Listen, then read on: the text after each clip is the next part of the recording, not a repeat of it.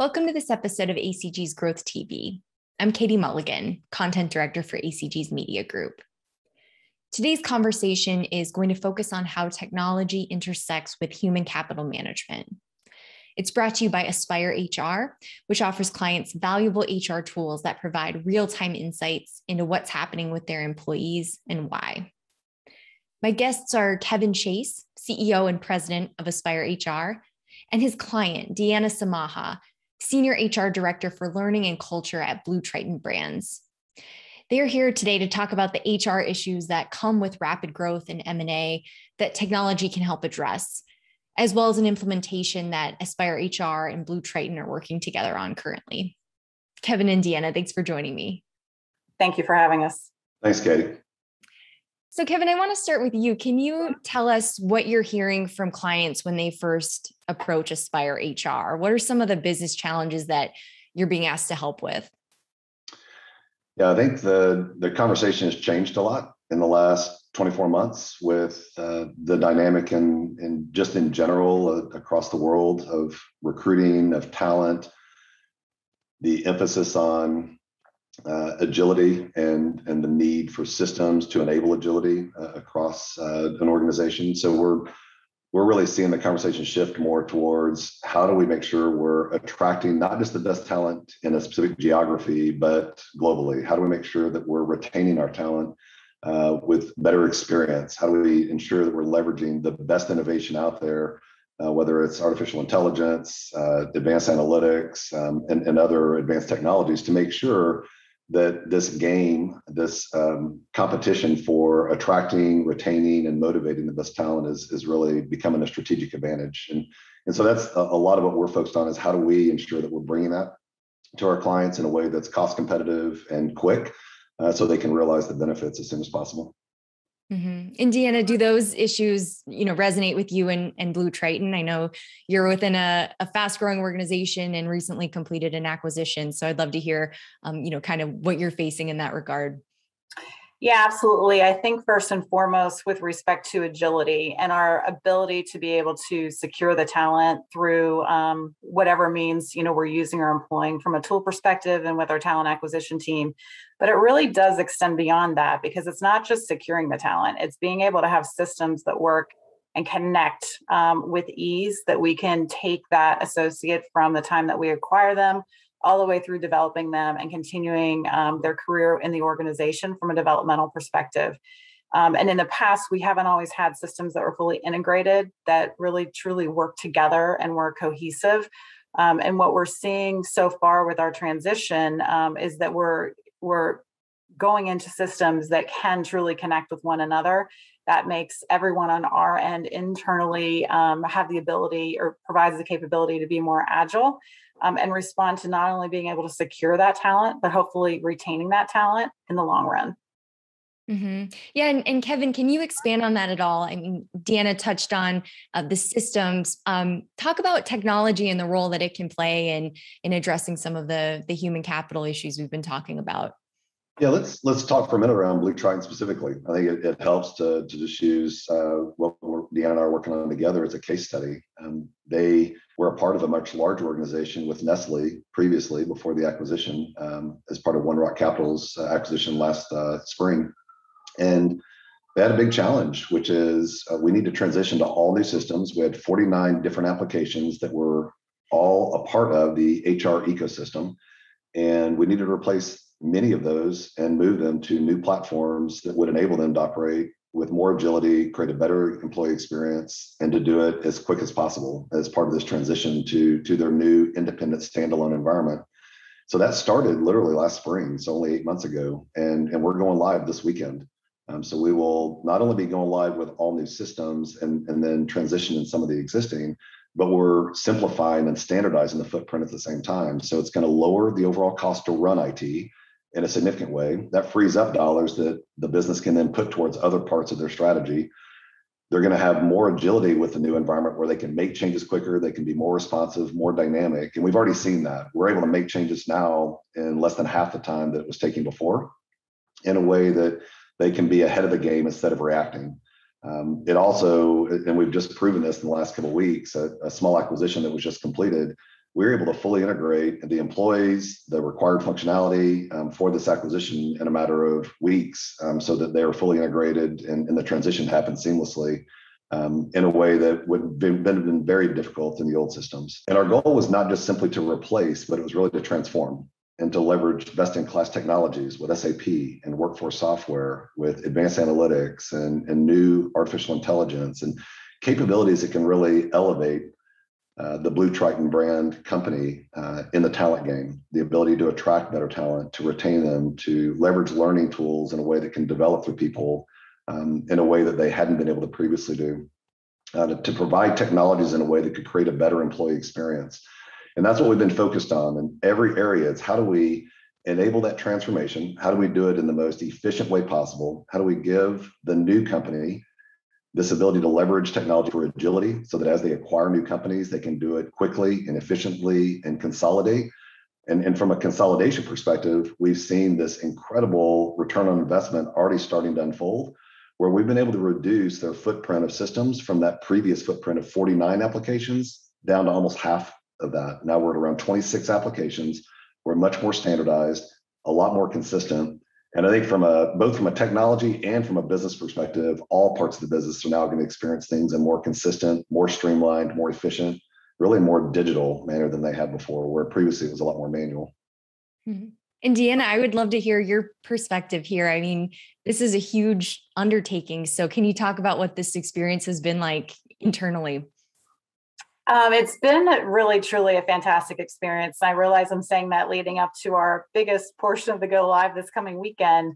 But as Kevin shared, you know, we started this journey with 49 systems that were clunky at best. And that's probably the easiest word to fall back on when I think about our systems in the past or technically currently what we're using. And if you think um, of even just in your mind a visual of a spaghetti diagram, it was probably the most chaotic spaghetti diagram you'd ever see if you think about how our systems worked in the past. Very clunky, certainly not one stop shop. They were in a variety of different places, often with different, you know, certainly different logons, different ways to access, and just pure inefficiency from the get go. I think all well intended from um, the entity that previously um, owned our division um, but at the end of the day, there's something to be said for technology and being able to bring everything together and create um, the agility, which enables really everything else that we we touch. Um, and starting from the talent acquisition piece, going through, as Kevin mentioned, the development of your associates, the learning piece, and everything else. We're really excited to see everything come to fruition. Uh, we've had one go live so far um, through this project, and that was specific to recruiting and onboarding. We made that transition in October and really fairly seamless. You're always going to have a few bumps in the road. Um, we've we've been able to navigate through those and in full force and effectively um, we've transitioned to um, that new platform um, but this coming weekend is when really everything else goes into play um, and very excited to see that happen because we truly know what that will bring us as an organization and more importantly what it will bring all of our associates. Um, and they may not even realize while they're working within the different platforms and touching things like everything that happened in the background to get to be able to use what they'll be using in the future. Um, but that's the exciting part. They really shouldn't realize that right? It should be completely seamless for them. It should be easy to access easy to use um, they should walk away with a great associate experience and that's what we're fully anticipating after go live Mm-hmm. And I want to end with a, a question for both of you. I mean, having gone through this, is there any advice you'd give to other operators who you know are, are going to undertake a similar process and you know hope to get their op- organizations to a place where blue triton is now maybe kevin you want to take that one first yeah I'll, i want to give deanna and and uh, the senior leadership andrea green and, and, other members of the blue triton team a, a ton of credit because uh, we work with a lot of companies. Uh, we have 18 different client go lives uh, or projects in flight right now. And I will tell you the Blue Triton organization and their vision is, has been critical to, to what we've done and where we're going. Um, they've got a very clear sense about what they want the organization to look like, how they want systems and technology to play an integral role in really elevating the capabilities of the company. They know the talent and the retention, the acquisition, the development of their people is absolutely top of priority list for them. And that's enabled us to make decisions that are very aligned with a vision, right? So we're not just simply tactically replacing systems. We're committed and, and really driven to achieve a long-term vision. and I think that simplified some of the process over the last eight months to get us here. Um, if you think about you know, many other uh, projects that are trying to do this level of work, it's it's not uncommon for this scope to take two to three years um, mm-hmm. because of its complexity. For us to achieve this with Blue Triton in, in eight months is a lot of, of the credit goes to them and their ability to make decisions, commitment to a consistent vision, and, and us leveraging best in class technologies across the board um, it, it's really enabled us to move efficiently through a process that a, a lot of times, like I said, it, it can be a struggle, and uh, and we've appreciated the partnership. Mm-hmm. And Deanna, anything you'd add there, or, or other tips to help other companies kind of get through this process as quickly as you guys have been able to? Yeah, absolutely. I think you have to look both internally and externally. So let me explain what I mean by that. Internally, it's not only the senior leadership support, which I will tell you in our case has been um, incredible, um, also, the support of our private equity partners. Um, Kevin mentioned Andrea Green. She's been extremely resource, resourceful through this whole process and um, very easy to work with and ensure we you know had the tools and resources and support and everything we needed to go through this process and um, with clear vision and goal in mind or goals in mind as, as we went through it in addition to the senior leadership team though it's it's everyone else you know within the hr community and our business leaders and key stakeholders that we're working with to be very supportive of recognizing that in many cases we'll run parallel paths. And there's been a lot that's been asked of the business to give back to us in terms of information in order to effectively um, create configure design everything that we we saw within that vision to make sure that that would come to fruition. Um, so that internal support across the board was absolutely key. Externally it's the relationship that we have with aspire hr so the collaboration from day one the continued partnership the working through the challenges. And you know to be quite honest we've had some tough days. We've had to make some tough decisions they've been very effective um, partnering with us, reminding us at times, probably more so early on, that it's okay to let go of things that you may be holding on to from the past. Um, we had been with Nestle for a very long time. That's really all that we knew. And the importance of being able to look ahead, learn from Aspire HR and their SMEs in terms of what is industry best practice and getting us to focus on not just continuous improvement, but you know good better best like how do we really get to where we need to go to fully leverage everything that we were um, pulling into our organization and would be able to use for our associates for years to come. So both internally and externally those components were critically important um, and really needed to work together to um, get to where we're at today.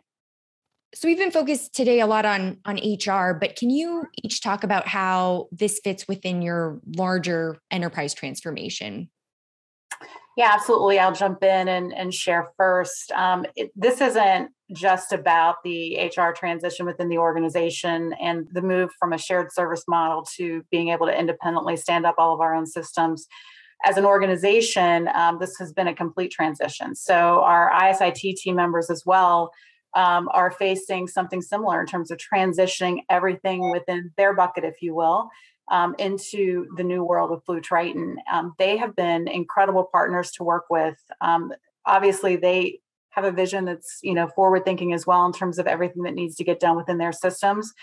But clearly, as I mentioned earlier, the internal support is really key, and um, their internal support of all the steps that we were taking within the Human Capital Management Project um, w- was definitely needed. And I would tell you, definitely delivered from our CEO, Tim Howes, to our my project partner mike garcia to many members on the team that help from um, any myriad of activities that we've done within this project to make sure that we can go to not only the go live that happened in october and being successful with that but as well as the go live that's upcoming this weekend. Yeah absolutely. I'll, I'll just add to that. Um, you know when you think about what blue triton is uh, is tackling and, and it's exciting i think for if i was in tim's role as a cio they are transforming several hundred applications and and business processes and working with finance and supply chain and all the other parts of the enterprise to enable every area to really elevate what they're doing and how they do it and bring more agility. Hr is the first in the wave of those system go lives we'll be the first one with with all of our systems go live uh, you know in the next week all those other systems will be going through their transformation over the next year.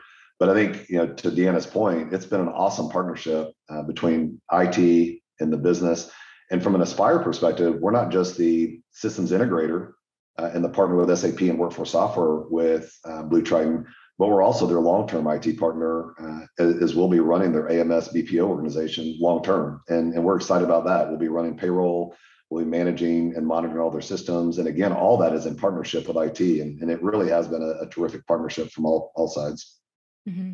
No, thanks for that. I think that's helpful context for kind of positioning how HR fits within um, the broader transformation underway within the organization. We'll close there for today, but Kevin and Deanna, I, I really appreciate your time and for joining me on Growth TV today. Absolutely. Thanks.